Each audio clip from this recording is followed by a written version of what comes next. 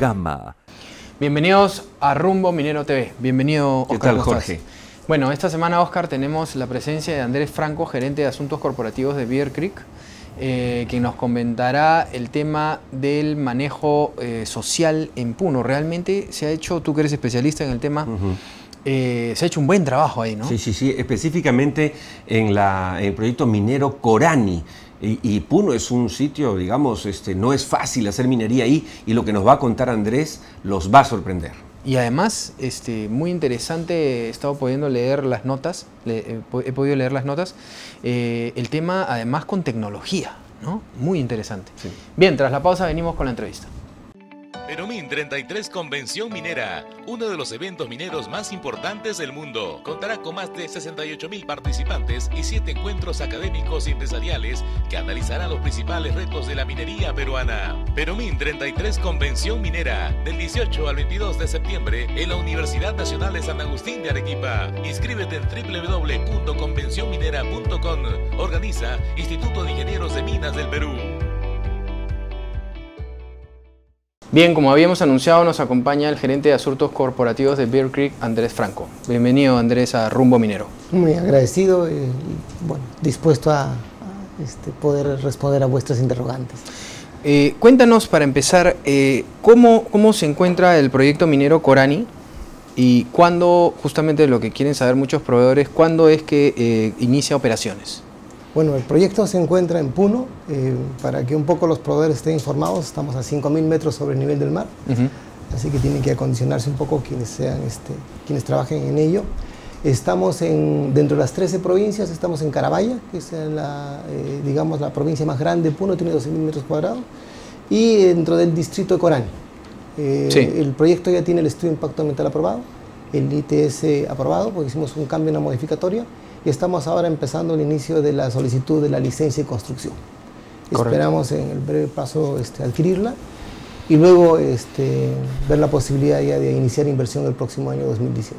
Ahora, Andrés, usted es un caso exitoso. Eh, hemos visto el año pasado, incluso en, en, el desfile militar, desfilar a la gente de Corani, justamente con la que ustedes trabajan. Eh, ¿Qué es lo que han hecho que es distinto a lo que han hecho otras empresas mineras y que les ha permitido, digamos, tener una relación hasta hoy feliz con la comunidad? Que la verdad no sé si es algo eh, complejo o académico, pero sí te comento que más allá de fórmulas es el hacerlo con el corazón, hacer, eh, trabajar con, con, el deseo de verdad, buscar el, el, la mejora. desarrollo de la, de la, de la zona. Ajá. Entonces nosotros cuando llegamos dijimos, vamos a hacer que dependan de la mina o que busquemos alternativas donde sus ventajas comparativas se conviertan en ventajas competitivas. Y ahí iniciamos el proceso de cómo lograr que una comunidad empiece a mejorar sin necesidad de depender de la mina.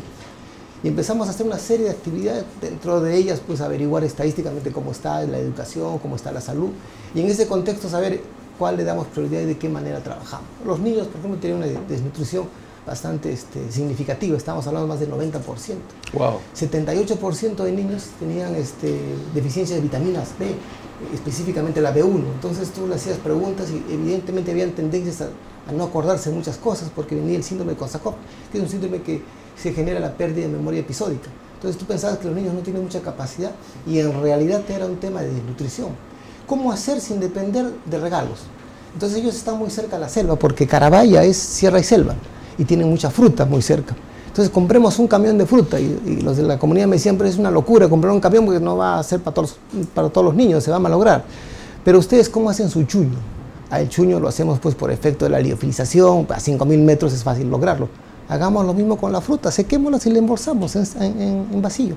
Trabajamos en eso y no saben cómo mejoramos en el tema de, de, de o sea, es un, es un, ganar ganar de, eh, real digamos no o sea sí. están ustedes preocupados por, por el bienestar de la, de la comunidad cómo cómo enfrentan no sé si ya les pasó o si les podría pasar ¿Cómo enfrentan cuando siempre en las comunidades, eh, estas comunidades que muchas veces las empresas mineras, no digo todas, pero muchas veces las empresas mineras, eh, al igual que ustedes, trabajan de una manera desinteresada para que la cosa salga adelante, trabajar la desnutrición, pero ¿cómo hacen cuando aparecen estos grupos antimineros que los mismos pobladores saben que es gente extraña? Pero que empiezan a meterles ideas en las cabezas negativas.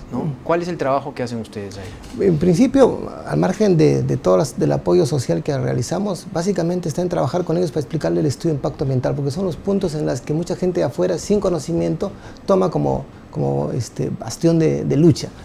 Eh, hemos hecho un convenio con la comunidad, ellos se encargan de explicar el estudio de impacto ambiental. Si el Ministerio de Energía y Minas me pide a mí una explicación del estudio de impacto ambiental, son los de la comunidad quienes tienen que venir a Lima y explicarlo, porque tengo un convenio ah, donde ellos son los específicamente que le explican este tema. Justamente a raíz de esto quería aprovechar el conocimiento de ellos porque te saben de explosivos, cuánto debe ir de ANFO, cuánto debe ir de tal cosa, qué tipo de reacción. O sea, los involucras directamente para que ellos sean los que expliquen. Todo el esquema, ellos son los únicos que Ellos solos se convenzan. Ellos solos. Justamente vinieron acá a Lima y los jóvenes hicieron una explicación integral de cómo funciona la mina, desde la, desde la forma en que se hace la, exploración hasta el momento en que se saca el mineral en sí. Ahora, otro acierto importante de ustedes ha sido eh, también integrar el tema de, de la producción digamos, de tejidos.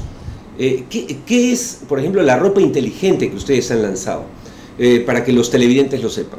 Bueno, básicamente en principio uno dice, ¿cómo hago para, para este, trabajar con ellos? ¿Cómo hago para unirlos, para que ellos tengan confianza? Que sepan que tenemos un conocimiento pleno de lo que tienen alrededor. Sabemos cuánto tiempo vive una alpaca, sabemos qué problemas tiene, sabemos qué significa 4D, sabemos que el problema es la enterotoxemia, es decir, todas las enfermedades que rodean a ellos. Y la mortandad que ellos tenían era aproximadamente el 70%.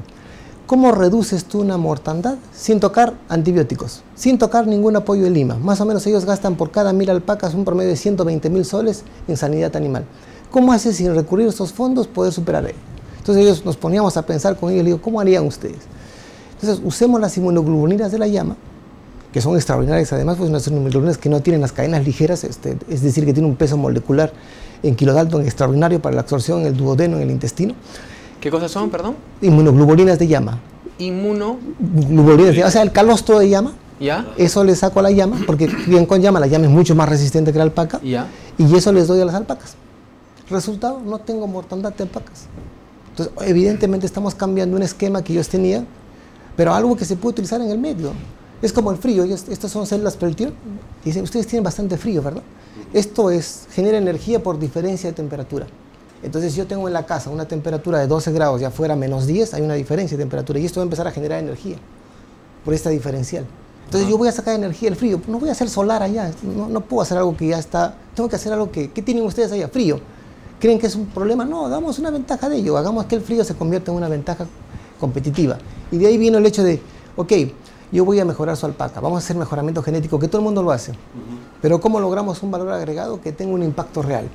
Porque me van a pagar por mi alpaca 4 dólares, así haga el mejor, el mejor mejoramiento genético por kilo. Yo tengo 100 alpacas, más o menos un buen ganadero tiene 100 alpacas. A 4 dólares el kilo, a 2 kilos por alpaca que más o menos te rinde, máximo 2 kilos, ¿ah? kilo y medio a 2 kilos. Tú tienes 800 dólares al año de ingresos en 100 alpacas, es todo que lo repartes de toda tu familia. 800 dólares por 100 año. Por año. Wow. Entonces significa que tienen pobreza extrema. Por eso que los indicadores dicen 93% de pobreza extrema. Entonces no hay forma de que funcione de esta manera. Entonces, ¿qué cosa haces para eso? Entonces tienes que buscar nichos específicos. ¿Qué hacemos? ¿Qué vamos a producir acá? Plata. ¿Qué cosa tiene las ventajas del hilo de plata? Es un antibiótico interesante y todo lo demás. Entonces hagamos unas medias de plata. ¿Para qué? Con plata. ¿Para qué? Esto yo lo uso para... Tienen hilos de plata. Hilos de plata. Imperceptibles, por supuesto. Claro. ¿Qué es lo que hace estos... Eh, y por qué son, digamos, este, eh, tejidos inteligentes? Bueno, esto porque si yo tengo diabetes y cualquier tipo de infección o herida que se me haga, jamás va a poder ser amputado un pie ni nada de eso. ¿Por qué? Porque esto va a impedir que esto ocurra. Si yo utilizo un polo como estos con plata, que está muy a la moda, que además no necesariamente es para invierno, como verán es muy delgado y muy fino, esto no necesito desodorante porque va a evitar el mal olor. Esto va a evitar, si tengo una alergia, va a evitarlo. Si tengo alguna herida, esto va a acelerar la curación de la herida. Todo esto está, Andrés, probado científicamente. Todo esto está probado y certificado. Hemos enviado la certificación de que esto funciona así a Estados Unidos y Estados Unidos, la FDA me ha devuelto con un certificado de que efectivamente sirve para diabéticos y efectivamente sirve para acelerar la curación de heridas. Ya, esto se ha desarrollado allá en Corani gracias a ustedes, ¿de Esto se va desarrollando así. Son ya, pero, pero no se está vendiendo todavía. Se ha desarrollado, digamos, está preparado. ¿En qué, en qué momento están? Ok, en estos momentos tenemos un pedido de mil polos ya para poder empezar a exportar. Tenemos medias, nos hicieron un pedido de 4 millones de medias. Oh. pero, pero ¿por qué no pudimos este, cumplirla? Porque estamos en una fase inicial y obviamente la primera parte de las medias, y, disculpen que... No, por favor. Eh, esta fue la primera media que ellos sacaron. como verán, es bastante diferente a la segunda que estoy sacando. Gruesa, más tosca, ¿no? Claro. Y esta es mucho más mejor acabada. Claro, había que, había que de plata, ¿no? Claro, había que ser, o sea, que este también tiene plata, este también tiene, tiene plata, pero había que hacer definitivamente las, las pruebas respectivas como para poder lograr que ellos logren esto. Entonces hicimos un curso de largo plazo para lograr esta calidad o sea, eh, eh, discúlpeme que te interrumpa. En, general, con todas eh, estas propuestas, lo que están haciendo ustedes es darle valor a la comunidad para que, y entendiendo su problema, claro, tengo 100 alpacas, gano 800 dólares al año, o sea, pobreza extrema. Entonces, lo que ustedes están haciendo con esto es darles ideas con sus propios productos, darles ideas también con los productos que van a salir de la mina, como es la plata, Em, y de esa manera ayudarlos a tener una calidad de exportación, certificar y, hacer que comercialmente estas comunidades puedan mantenerse, ¿no? Así es, la idea es esta, nosotros hemos hecho 32 iniciativas, actualmente ya tienen una fábrica de cerveza en una zona, a 5.000 metros sería la fábrica más alta del mundo, nunca se ha hecho eso. ¿Por qué una fábrica de cerveza? Primero, Puno es el que más consume cerveza a nivel nacional, per cápita. Segundo, porque se encontró una fruta, una fruta que le llaman ellos un picusawa, que es eh, amargo, muy amarga. Entonces lo puedo usar como lúpulo. Podemos utilizarlo esto como para cerveza, pero obviamente una cerveza artesanal que tenga muchos beneficios. Entonces se creó una primera planta de cerveza, porque además esto significa que tienen que cuidar la limpieza, el aseo y una serie de elementos que ayudan a mejorar la calidad de vida.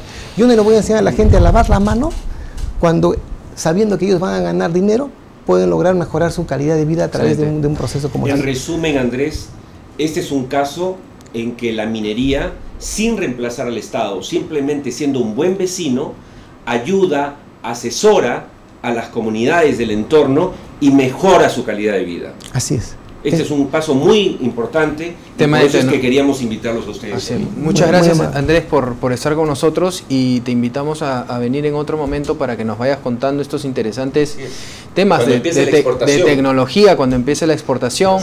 Y te felicito porque me parece una forma diferente eh, de ver las cosas y también de poderle darle alternativas a las comunidades y que la minería justamente sea vista de esta manera, de una manera de apoyar a las comunidades a salir adelante por sí solas. Ok, muy agradecido a ustedes. Este, Felicitaciones. en el 2015 ya exportamos a Italia, este año estamos exportando todos los hilados a Francia y a Canadá. Gracias. Bien, estuvimos con Andrés Franco, pausa y regresamos. Paz social, equilibrio ambiental, inversiones seguras para alcanzarlos, usted cuenta con un equipo multidisciplinario y de alta experiencia en asuntos sociales, medio ambiente, comunicaciones y redes, seguridad y salud ocupacional, asuntos legales y permisología. Desde hace 15 años, Viceversa Consulting, Gerencia Soluciones. Bien, a continuación acompáñenos al bloque del Instituto de Ingenieros de Minas del Perú.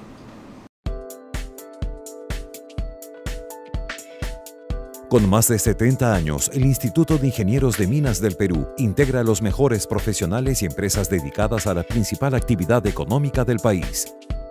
Este año se celebrará Perumín 33 Convención Minera, que congregará cerca de 68 mil participantes y presentará siete renovados encuentros académicos y empresariales. Perumín se realizará del 18 al 22 de septiembre en la Universidad Nacional de San Agustín de Arequipa y pondrá en relieve los grandes retos de la actividad minera peruana.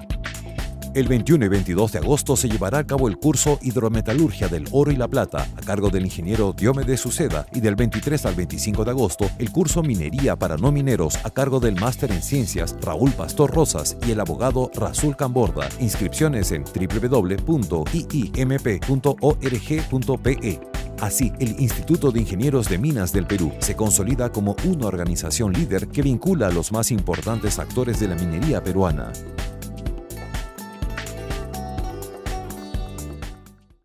Veamos ahora las principales noticias del mundo minero de esta semana gracias a la revista Rumbo Minero. Este bloque llega gracias a la revista Rumbo Minero. Precio del cobre tomaría alza prolongada en próximos meses, analiza Scotiabank.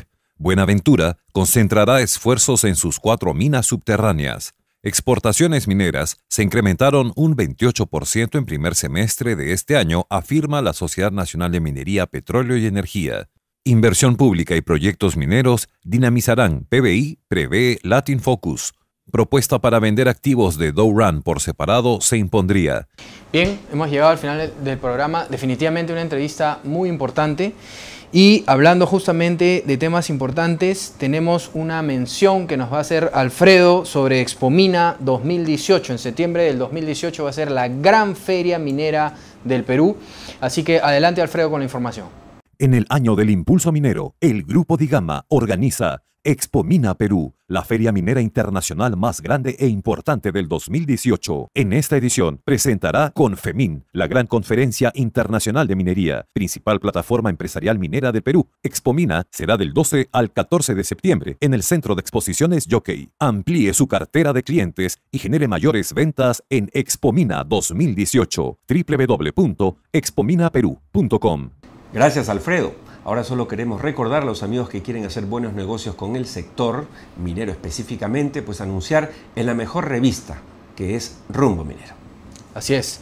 Bien, también mencionarles, Oscar, que ya viene la conferencia Perú Mining Business. Lo que hemos hecho es ah, atender el llamado de todos los proveedores, de gran parte de los proveedores del sector minero, que quieren proyectar hacia dónde va el sector minero este 2018.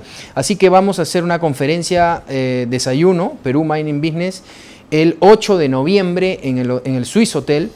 Eh, y va a ser una conferencia donde tenemos empresas como Pricewaterhouse, tenemos este, Deloitte, tenemos la Tecnológica de Monterrey, tenemos el Ministerio de Energía y Minas, que nos van a poder proyectar qué es lo que se Con viene. buena información. Así es. Y de esa manera ustedes van a poder hacer su estrategia de negocios para el 2018. Así que apúntense para esta importante conferencia. Bien, Oscar, muchas gracias como siempre por estar con nosotros. Eh, a nombre del Grupo Digama les agradecemos por estar en este nuestro programa Rumbo Minero y los esperamos todos los sábados a las 10 de la mañana. No se olvide a continuación el programa Perú Construye. En lo que es minería, muchas gracias. Nos vemos.